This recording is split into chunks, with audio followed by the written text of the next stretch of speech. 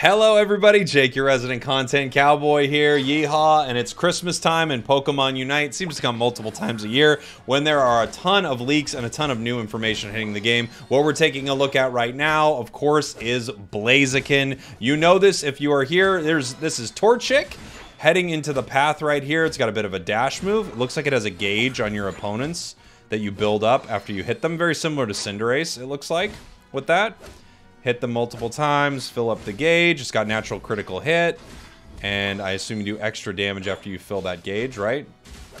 Dash in the... Oh, you're marking them with this. Is that what's happening? So it's not... Oh, no, it's a natural gauge that fills up. It's not just a mark. It's just that any damage starts filling up this, this gauge. So it's very similar to Cinder. Moving in, doing some damage right here. Where's its boosted attack? Am I, see, am I not seeing a boosted? Maybe it doesn't have his boosted gauge on, too. Big crits. Dashing in.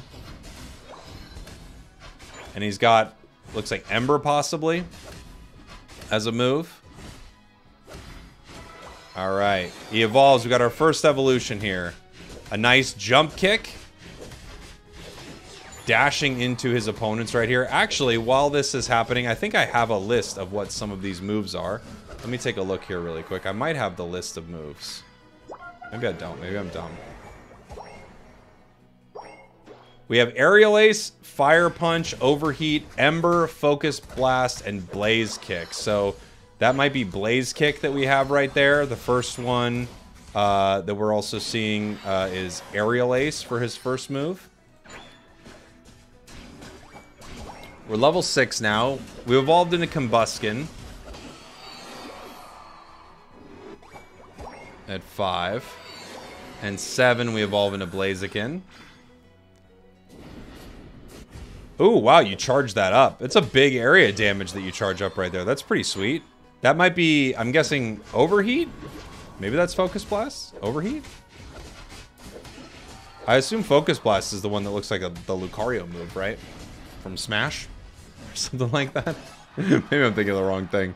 Let's see. Moo, you can't move it, but you probably could move it with an eject button. That jump kick is really nice. The way that you're able to move your opponents around like that. Big time critical hits, too. Okay, so here's its Unite move. And using its Unite move, you have switched your move set. And you've now switched it back. And I was kind of hearing rumblings of this. There are characters like this in other MOBAs where their Unite move essentially is not exactly uh, a Unite move, or their ult is not exactly an ult. It's to switch styles. So you have two styles of fighting, and you switch between them right here. And I think that's what we're seeing. Yeah. Definitely, right? Because that looks clearly to be Focus Blast and Fire Punch. So they're on sort of a set. I wonder if you can choose. I'm going to go back in this video really quick just to make sure I didn't miss this. Because I'm just wondering if you happen to choose these moves and you can decide your set at some point. Sorry to take everybody back, but I just want to be clear about this.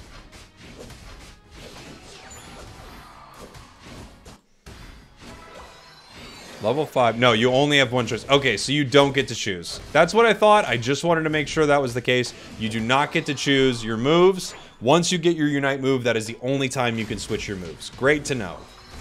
Great to know. Dang, Fire Punch looks awesome. Holy.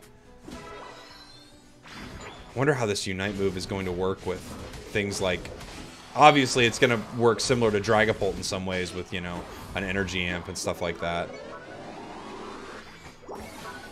Dang, that scoring animation's good. Inteleon's is good, too. They're, they're nailing these scoring animations. Fire Punch looks great. You change, you kind of do this flip, you change, then you use your moves. They're on cooldown, and then you switch to your other moves.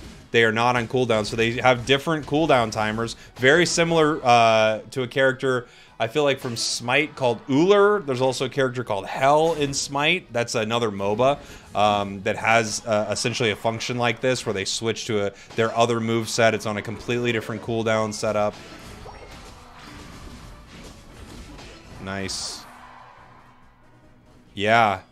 You use it, you engage with the Unite, right? Because it does damage, so you can engage with it. You can actually use your moves, engage with your Unite. Gosh, this is going to be insane.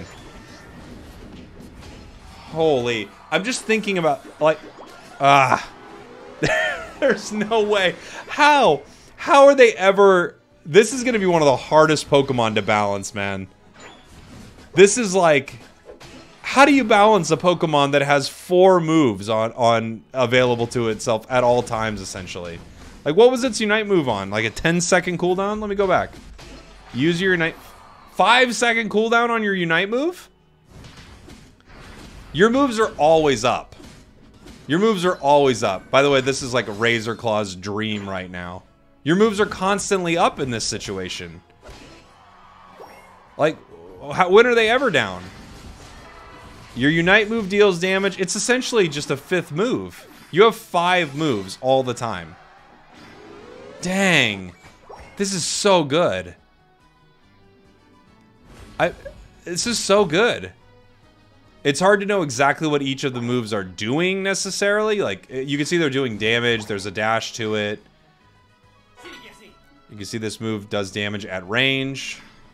But we don't know, you know, you don't know the details of like, oh, this one increases your crit by 30% and stuff like that. I'm interested to see exactly how the mark works, if it's just like Cinderace or something like that. I can't tell exactly. You can tell that you are marking them and doing more damage to them because of that. Or something like that, I guess. You're marking them and that's giving you a combat advantage. I'm just not exactly sure what that combat advantage is. It's possible that it's giving you, like, increased critical hits as you're continuing to hit them. Because it feels like you're doing a lot of critical hits with this Pokemon, but it is a brawler. So it's also reasonable to assume that you're running critical hit items, or it has just a lot of natural critical hit in general. But it does feel like the critical hits get more often or bigger near the end of your burst there. Great score animation.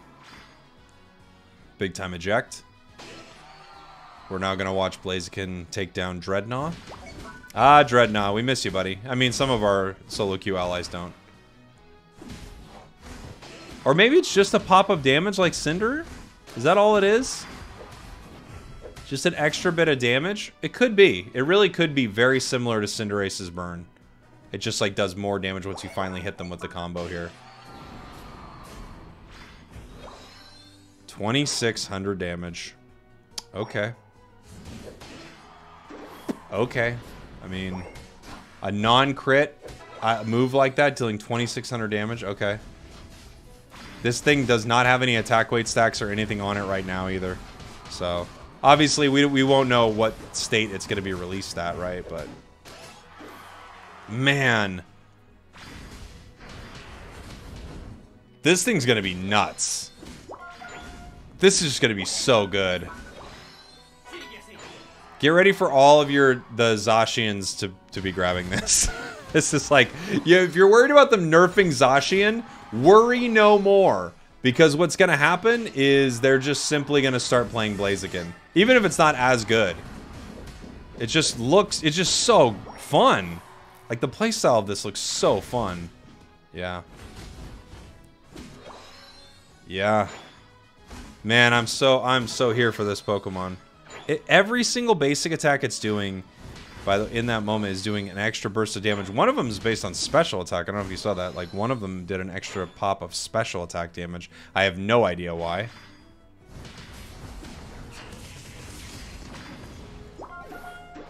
Maybe it's just part of the near the end of the combo or something like that. It does like special attack damage. It's based on special attack. The point of that being just to go to against a different defense.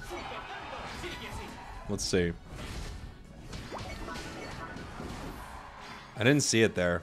Maybe my eyes are playing tricks on me. Maybe he's running choice specs. Could you imagine?